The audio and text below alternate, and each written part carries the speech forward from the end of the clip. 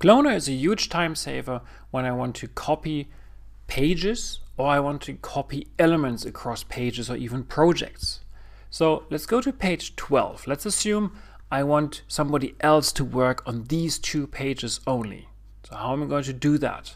I either need to copy all of the elements into a new document or give him a duplicate and say, well, just work on these pages. With Cloner, all I need to do is go to Utilities, Cloner, and I will copy page 12 to 13, just these two pages, and I will copy that into a new project.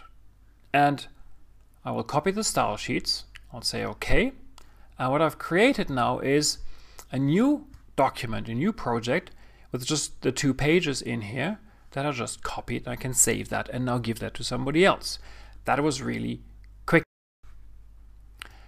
So next thing I want to do is on page six, I have this spiral element here. And what I want to do is I want to copy that into four different new documents that I have created.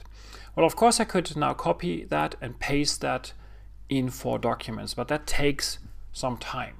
With Cloner, it's very easy to copy that in a new document. And you can see I have four documents open. Let's just open one, document one here. And you can see that this is basically empty. There's, except for the page numbers, there's nothing in this document. So I'll go back to my other document here. I'll select my group here. I go to Utilities, I go to Cloner, and now in Cloner, I will copy the selection. I will copy that to all open layouts, so all four documents that I have open here. And I want to copy that to page 3, not to the first page.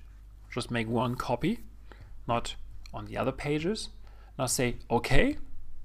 Will take a small while. And if I go back here in my document, you can see on page 3 and 4, I have this element, whereas on page 1 and 2, this is still empty. So a huge time saver to copy elements within the same document, across different documents, or to even uh, create new documents.